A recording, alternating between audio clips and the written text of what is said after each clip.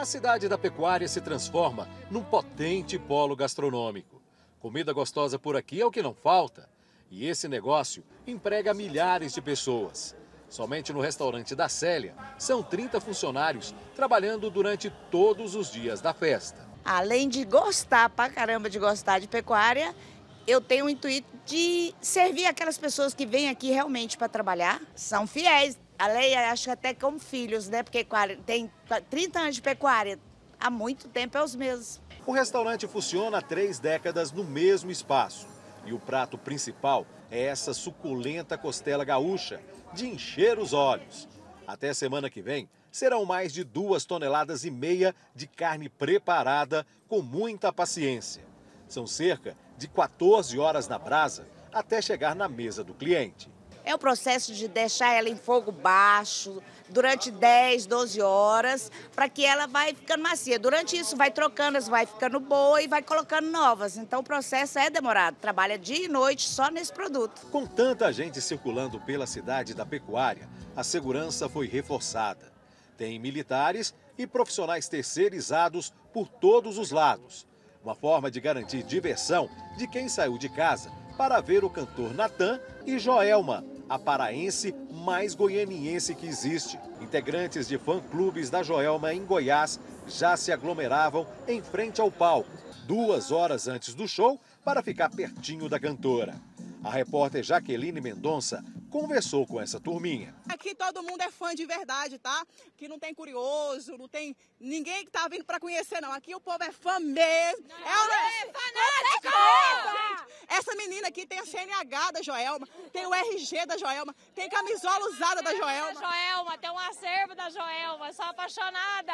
Você foi a primeira a chegar aqui hoje? Foi. Que horas? Antes das 4 horas da tarde. O salão tava rachando. Tava rachando e eu tava aqui. Você não tá nem aí pra isso? Não tô nem aí. Fosse chuva? Não, meu marido briga comigo, eu mando ele dormir. Quantas fotos da Joelma você tem? Mais de um álbum de fotos. Quantas fotos você fez com ela? Ai, não tem nem... Quantos shows você foi? Mais de mil shows. Caramba! Esse aqui é o Marcos, fundador, um dos primeiros fã-clubes dela, né? A gente estava comentando aqui que a Joelma explode depois do ano 2000 em todo o Brasil, mas para nós ela já fazia muito sucesso, né? Sim, para nós fazia muito sucesso. Eu acompanho ela desde 2003, o primeiro show que ela fez na Eclipse. É mesmo? Dois reais? Dois reais. E aí tinha que juntar dinheiro pra comprar, que era dois reais, era muito dinheiro. Naquela época era, né? É. Mas a gente dava um jeito. Manda um tacacá pra nós aí, vai tacacá. Eu vou tomar um tacacá, dançar, curtir, ficar de boa. E quando eu chego no Pará, o tempo voa. Movimentado também estava o camarim da Joelma. Ela recebeu os fãs antes de subir no palco. Os gêmeos Kevin e Yuri, que iriam participar do show, trouxeram rosas para a cantora. A dupla ainda deu uma palhinha do que iria apresentar. Foi egoísmo seu e agora chora, pedindo pra votar de qualquer jeito. Nem sabe que aqui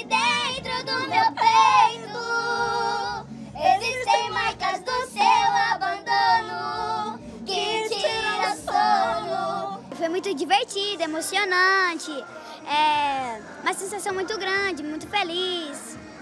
E agora enfrentar o pessoal no palco, hein? O Leite está acostumado. Nós já cantou com vários cantores, já cantou com Gustavo Lima, Matheus Cauã, Trio Parada Dura, é, Matheus Cauã, o Rodolfo. Ah, então vocês desculpem, viu? Vocês são famosos e eu dei rata. Como sempre, muito simpática, a Joelma abre as portas do camarim e também do coração para conversar com a Record Goiás nesse show que vai ficar marcado para muita gente que já está te aguardando lá de fora, né? Ai, gente, eu estou muito feliz. Eu estou com essa turnê há algum tempo e aonde eu chego eu sou recebida assim com muito amor e carinho, né? E aqui em Goiás não é diferente. A gente tem uma relação muito profunda é, com esse lugar, onde eu conquistei coisas maravilhosas, fiz amigos incríveis, Gravei muitos trabalhos aqui, muito abençoados. Eu só tenho gratidão com essas pessoas, com esse lugar. O show da Joelma foi uma explosão de sucessos.